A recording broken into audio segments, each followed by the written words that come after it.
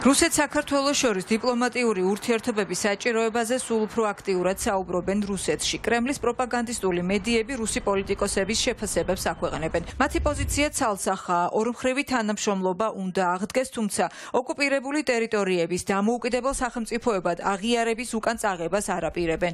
ამის მიუხედავად ოკუპანტი ქვეყნის ოფიციალური პირები ფიქრობენ, რომ საქართველოს მხრიდან დაბრკოლებები არ იქნება. რუსეთსა და საქართველოს შორის რომ ურთიერთობები უნდა აღდგეს, ამაში ვფიქრობ ორივე ქვეყნის დაინტერესება არსებობს. თუმცა რუსეთი არაპირებს უკან გაიწვიოს აფხაზეთისა და სამხრეთ ოსეთის დამოუკიდებელ სახელმწიფოებად აღიარება. ყველას ესმის, რომ რუსეთი სტაბილური პარტნიორია და თანამშრომლობა საქართველოს განვითარების საშუალებას მისცემს. თუ საქართველო ოფიციალურად მოგმართავს, რა თქმა უნდა, ჩვენ ყველა წინადადებას განვიხილავთ. ფიქრობ, იქ რაიმე მოთხოვნები ან დაბრკოლებები არ უნდა იყოს. ჩვენ ამას მხოლოდ მივესალმებით. ნათელია რომ ჩვენი ქვეყნებისთვის ეს სასიამოვნო ამბავია. მოსახლეობას ფიქრობ ამის მოთხოვნილება ნამდვილად აქვს. შესაძლოა პოლიტიკოსებს არა მაგრამ მოსახლეობას ნამდვილად აქვს. რუსეთთან დიპლომატიური ურთიერთობების აღდგენის შესაძლებლობას ამ ეტაპზე გამორიცხავენ ქართულ ოცნებაში. მათი განმარტებით ამის საფუძველი ახლა არ არსებობს. უმრავლესობაში ამბობენ რომ არ უყურებენ რუსულ მედიას და არ აინტერესებთ რა განცხადებები კეთდება. ირწმუნებიან რომ რუსეთთან მსგავ გავს საკითხზე არანაირი კომუნიკაცია არ არსებობს. პირდაპირი დიალოგის ინიციატივა კი წლებია არსებობს. იმაზე რომ პირდაპირი დიალოგი უნდა იყოს, გამართული ამაზე საუბარია 2008 წლიდან მოყოლებული.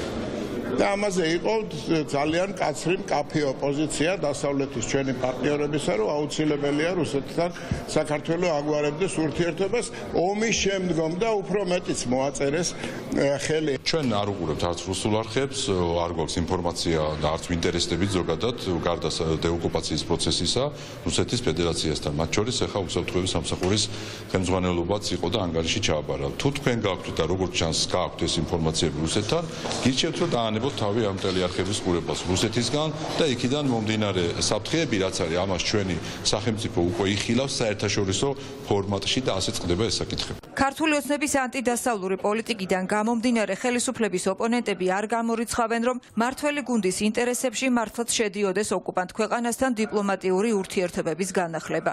ოპოზიციას ამის ფიქრის საფუძველს ავიარეისების განახლება, საქართველოს მოქალაქეებისთვის სავიზო რეჟიმის გამარტივება და რუსეთზე ეკონომიკ პოლიტიკური დამოკიდებულების გაზრდა აძლევს.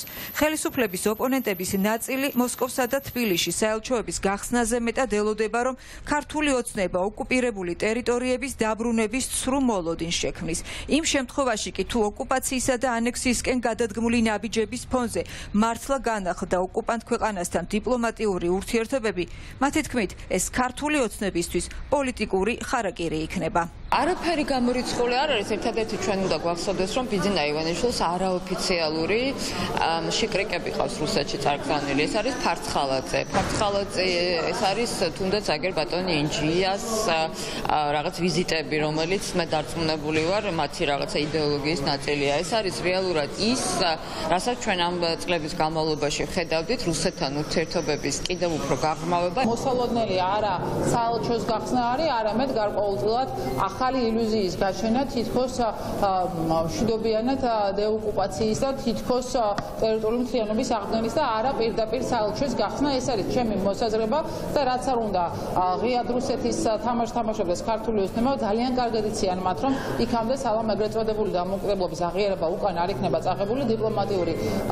ურთიერთობების აღდგენა იქნება სრული ხარაკირი მათთვის. ქართული ოცნების პოლიტიკა უკვე ღიად გახდა იზოლაციონისტური რაც გულისხმობს იმას რომ საქართველოს პირისპირ რჩება ეხება რუსეთთან და ამის შემდეგი ნაბიჯი არის უკვე ის რომ და არავინ არ არის მოულოდნელი რომ დიპლომატიური ურთიერთობები უნდა აღადგინონ იმისათვის რომ ის რაც კულუარებში ხდებოდა და კულისებს მიღმა ხდებოდა ახლა უკვე ოფიციალური სახე მიიღოს ამ ყველაფერმა. პირდაპირ რუსეთთან საუბარი ჩვენი ხელისუფლების მხრიდან შეიძლება ნიშნავდეს მხოლოდ იმათ რომ მათ რაღაცა უნდა შექმნან ისეთი სიტუაცია და დააჯერონ აქ მოსახლეობას რომ თითქოს მათ შეუძლიათ რუსეთთან ჭალებში დალაგება რაც არის ტყუილი ჩვენ ჩვენი ევროპელი და ამერიკელი პარტნიორების გარეშე უბრალოდ იქნებით გაწირულები რუსეთის ოფიციალურ პირებსა და რუსულ მედიაში მოლოდინი დიპლომატიური ურთიერთობების შესაძლო აღდგენის შესახებ პრემიერის იმ განცხადებამ გააჩინა, სადაც კობახიძე ამბობს, რომ სტრატეგიულ პარტნიორთან, შეერთებულ შტატებთან ურთიერთობას გადახედვა სჭირდება.